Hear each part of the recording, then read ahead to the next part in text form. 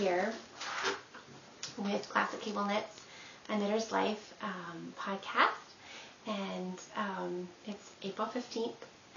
I thought I was going to report that it is spring now, but um, it decided to snow this morning. April 15th, and it's snowing. Um, I wouldn't say that's a new one for Indiana. Um, we have had snow this late, but it's unusual, so it's slightly disappointing. Little John this morning, as he was going off to school, um, I, I was lamenting the fact that it was snowing and there was snow on the ground and that the daffodils had snow on them. And he said, But Mama, don't worry, spring is coming. So we won't worry, spring is coming. But, anyways, last week um, John had spring break. And I thought it would be fun to do some special projects with him. Um, one of the things about raising creative children is doing what you love um, with them, doing the creative things that you love um, with them. So um, I thought that I would do that. I love to um, dye yarn and spin, and I thought that he would enjoy the process of dyeing some roving. I wasn't too sure how it would go and if it would be extremely messy, but I decided to give it a try. It was spring break and we had the time. So um, I got some, some plain roving and I usually dye with acid dyes, like the um, jacquard acid dyes, but I didn't want to dye um, roving with a child using acid dyes they just can be, you have to be very careful about acid dyes. You don't want to breathe in the powders, and um, if the liquid gets anywhere, you want to mop it up before it dries to a powder again because the powders can be dangerous to inhale. So I didn't really want to do that with a, uh, a child. Um, I thought I'd be a nervous wreck doing it. Um, maybe some of you have done it and have done it successfully, but I thought it would be safer for me and more relaxing for me if I um, use some Wilton food uh, dyes. So I went to Michael's and I was in the aisle. I was in the aisle looking at the the dyes, and this um, Michael's employee comes up to me. She was an older woman, and she says, "Have you taken one of our cake classes?" And I said, um, well, no, but I have heard of them. Thank you for letting me know. And um, it was clear that she wanted to chat some more. She's like, well, you really should. And if you've hung around my sisters and I any, you know that our cakes, the cakes that we like to make, are very natural looking. Um, we usually don't use cake dyes to dye the icing, and we don't do a lot of icing. We don't do a lot of flourishes on the icing. We tend to do like Victoria sandwich cakes decorated by real flowers or real fruit or sugar glazed fruit or something like that. So, in my mind, I was thinking, no way. that is not my kind of cake. I don't want to take a cake decorating lesson. Um, but I didn't want to offend her. And I don't want to offend any of you if you love to decorate cakes and lots of icing, and that's just fine. That's great. We need those. Um, but we just, I just prefer cakes that are maybe a little more simply decorated. Not a bad thing, not a good thing, just the way it is. So, um, I could tell I wasn't really in the mood to chat, which I felt kind of bad about. But um, I said, well, I'm not going to be using these to decorate a cake, actually, or cookies. I am going to be using these to dye um, yarn or to dye roving. And she and she said, "What's that?" And I said, "Well, I really like to spin, and you can take um, sheep fiber and you can dye it and you can make it colorful before you spin it. And so I was trying, I'm trying to pick out some colors. I think I'm going to do this with my four-year-old son and I'm trying to pick out some colors that he would like and um, we're going to do this on spring break. And she kind of looked at me like, whoa, this is way out there. Um, and she talked with me about some colors and then she, she left. Um, but before I was out of the store. I was in line to pay, and the lady calls across the the the lanes where I was standing in to check out. She goes, um, "I hope you have a good time dying." I thought that was hysterical, and the manager of the store looked at her like, "What?" And she said, "Well, she's gonna go dye some some some yarn." And um, he, she was, and she explained to him, "But I just nearly died." Bye. I hope you have a good time dying. I mean, really, that's just that was too funny. Anyways, so we had a ton of fun dyeing the fiber. And I have a quick video to show that I think you'd like to see. So here it is. Hi, John. Hi, I'm painting yarn. This is exciting. Are you enjoying it? Of course I am. Oh, good. That's a good thing. So tell me, what colors are you painting? Well, I'm painting blue right now. Okay. This is purple, starting purple right now. Okay. This is green, this is yellow, this is orange, and this is green. What do you think is the best color so far? Uh, I like all the colors. That's good. That's good.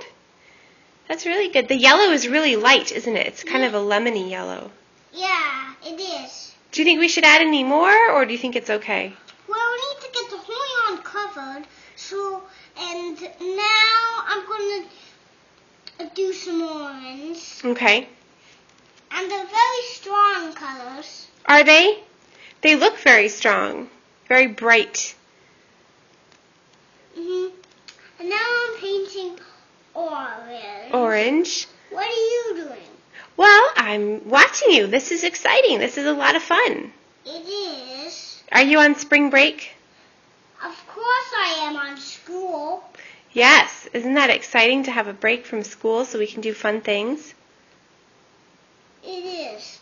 And now I'm going to do some blue. Okay. No, I'm going to do some yellow. Yellow. I think it could use a little more yellow. I think that's good. So what are we going to do after we we paint it? Are we going to pop it in the oven or the microwave?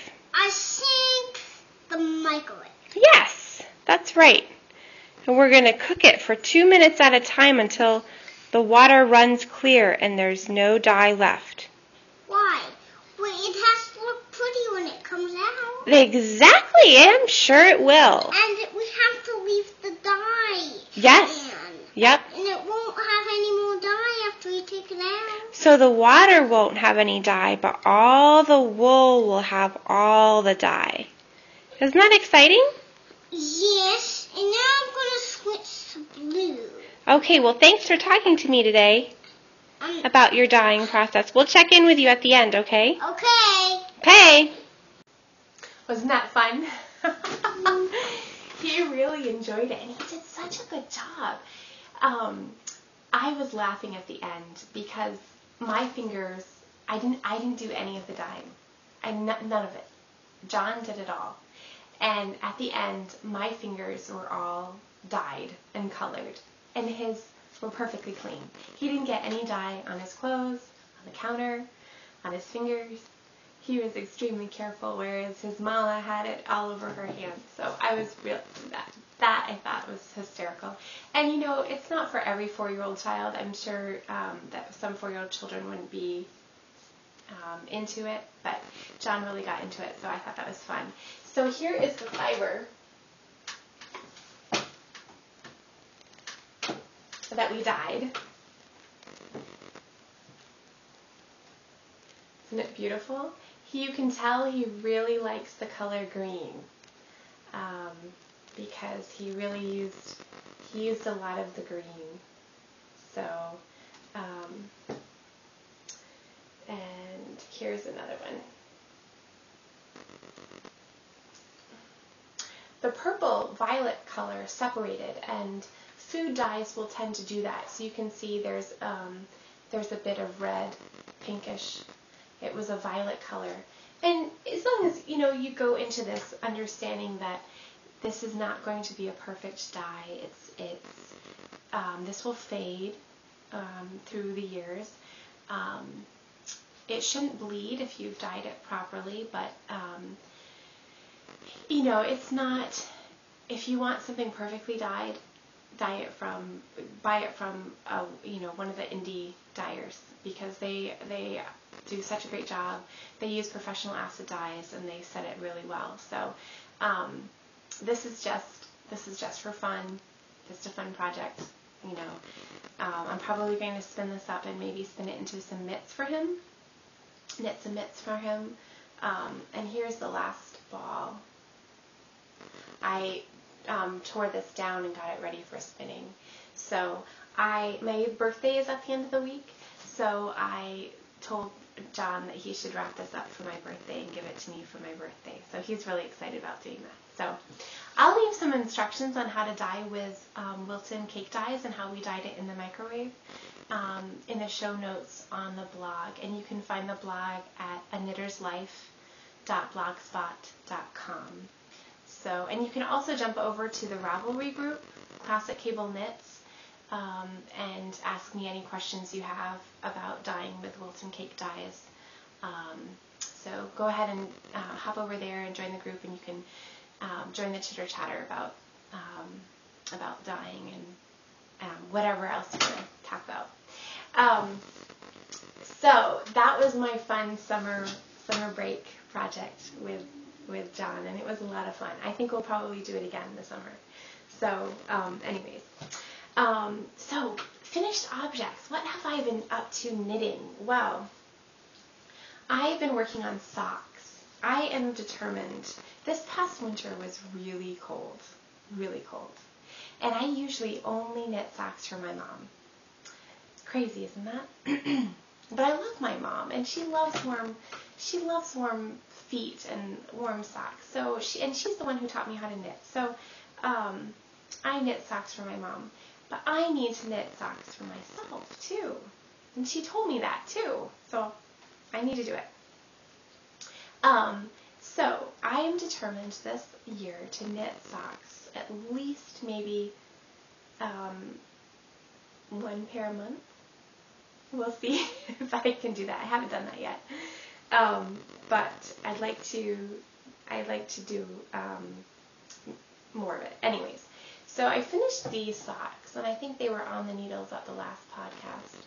And I used a garter stitch heel. It's you wrap and turn, and um, it's a garter stitch heel. And because it's garter stitch, you do not have to pick up the wraps um, after you turn it. And I love that. It's a nice, easy um, heel. It goes really fast and it's really sturdy. It's a really sturdy short row heel. So I, this is my favorite go-to vanilla sock um, heel. And I love just plain vanilla socks. I, I don't know. I know that there many of you just love making pattern socks, and that's just fine. But um, sock knitting is my comfort knitting, and I just really like to knit a plain sock. So but I did think that I should experiment and learn um, a new some new heel techniques. Why not? You know, you can always throw um, whatever heel you're in the mood for. And so I tried Cat Bordhi's Sweet Tomato Heel. It is made out of three wedges, three short row wedges that are worked on two thirds of the stitches and then after each wedge, you work the wedge into the body of the sock. It's absolutely amazing. It is, it fits your heel so nicely. It really hugs it and hugs the, the inside curve of your heel. I just love it. Um, again, Cat Bordhi is, is just a magician when it comes to knitting. And I loved how it turned out in this um, the self-striping um, Kroy um, sock yarn. This is the rag stripes, I think blue rag stripes. And you know, if you if you're a um, podcast watcher, you've probably seen this this yarn. Um, it's really popular right now, and you can just get it at Michael's, which is awesome. Um, one of my favorite things to do on Wednesdays, my mom watches the two boys while I go food shopping so that I haven't needed to bring them out in the cold this winter. And also so that I can go food shopping um, by myself. it's really nice.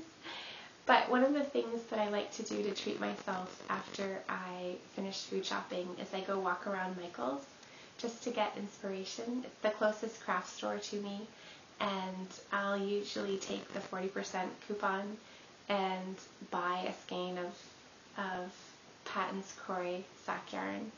Um, and that's just my that's just my little treat to myself. I don't do it every week, but I do it I've I've done it some weeks, and I haven't always bought and purchased a, a skein of sock yarn. Sometimes I'll just walk around and look, but um, I have purchased. Um, I think maybe I purchased enough for my mom and I both to have a pair of socks. And since it takes two balls, um, you know that was four weeks that I gathered them over. So, anyways, two balls per sock per pair of sock. Finish my sentences. So anyway, so my mom and I will both have matching socks out of that, which will be fun. Um, the other finished um, item was I made a mini bunny love by Susan B. Anderson, and I made this just one for Arthur for his Easter basket, and it is so cute. But I'm laughing because um, I watched Molly of Homes Fun House, and I love her podcast, by the way. If you um, get a chance, hop on over there and watch her podcast because it's a lot of fun. But um, she made one for her little daughter, and she said, "Don't worry, the ears, you know, the ears stand up." She she thought, "Oh, maybe we have to put something in them to make them stand up," and um, so I thought, "Okay, this is I don't have to worry about it. Well, I used alpaca, not um, merino sock yarn. I used alpaca sock yarn, and they flop. the ears are floppy ears, um, which I just think is hysterical. So Arthur has a floppy-eared bunny for his Easter basket.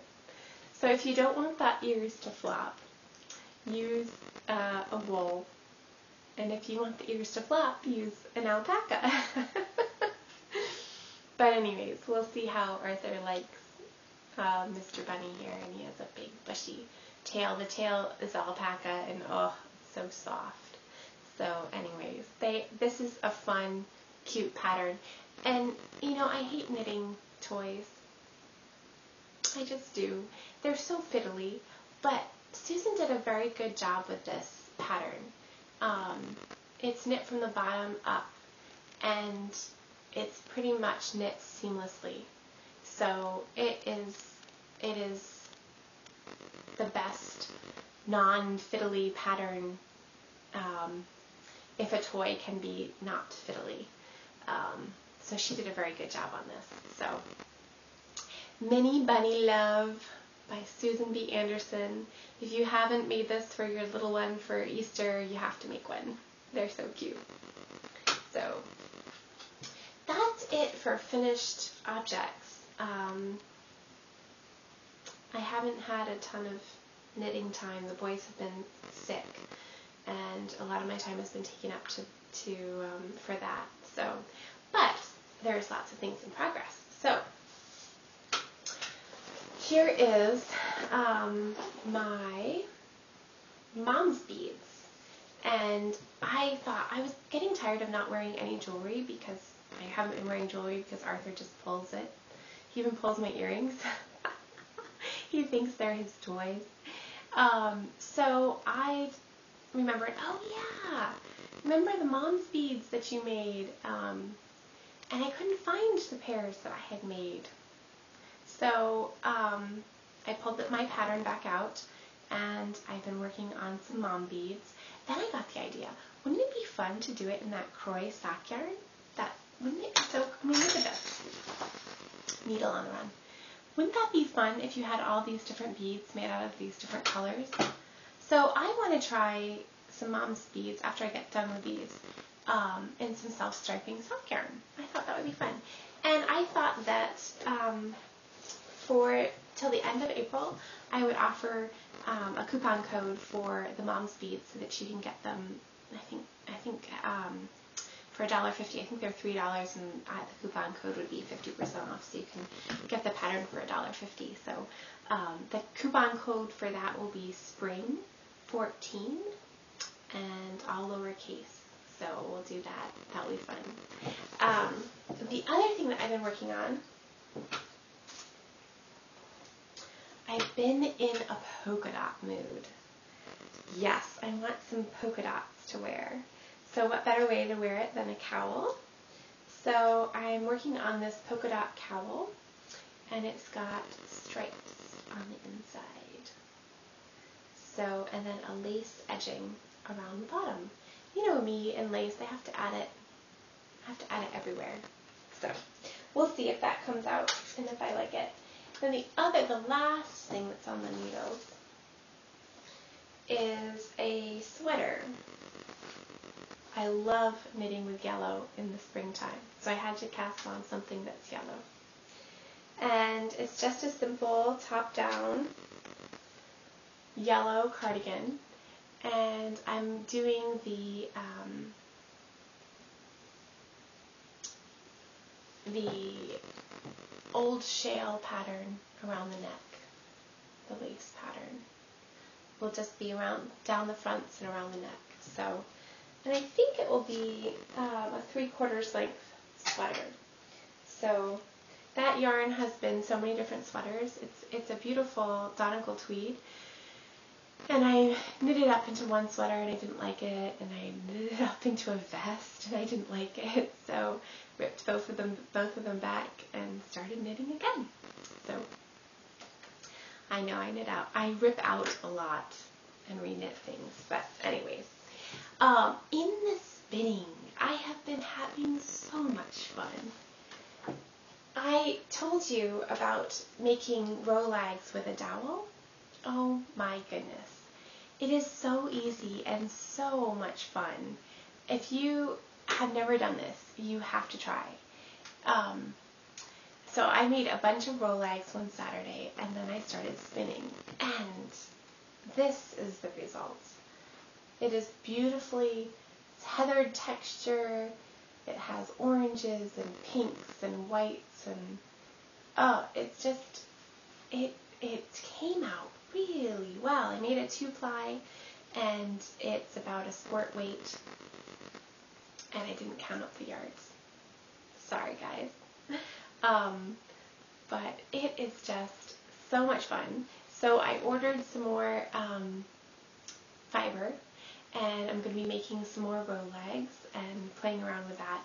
And I'd eventually like to get some silk hankies to put into the rolags. So um, we'll see how that goes and if I indeed do do do that. Um, but I think that would be a lot of fun to try making adding a little bit of silk into these rolags. So if you haven't tried it, get a big a dowel or a big um, knitting needle straight and watch the video and try making some rolags. It's so much fun. So um, that is um, that is all that I finished in the spinning um, area. I have the Sheep Street bat on my wheel right now, and it's that beautiful um, uh, lilac and green bat. So we'll have to see how that comes out. That's 100% Shetland, so that that it's been fun to spin.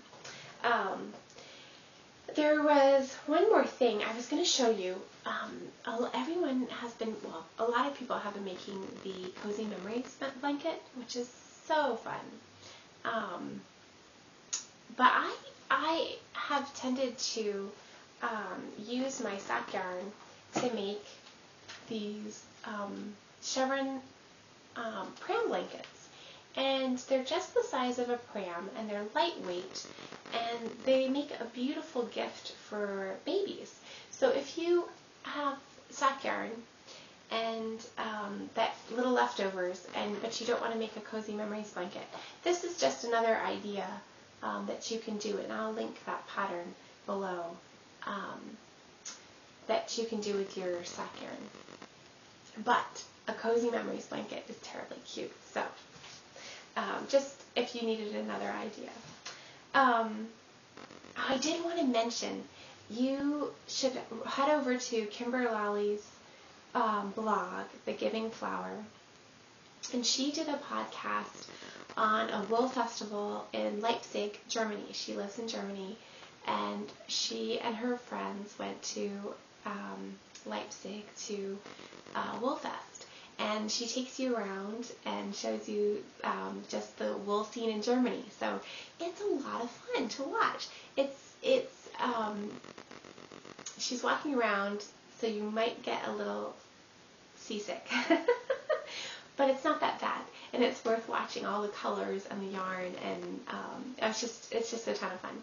So um, you should head on over there. I'll provide the link below and and watch it. It's fun. So I think that's it for right now. Do hop on over to the Ravelry group and um, share your thoughts about what you're knitting and what you do with your leftover sock yarn and what kind of sock heel you like. And um, you can also find me on Facebook under Classic Cable Knits and you can join the conversation there. But anyways, until next time, happy knitting.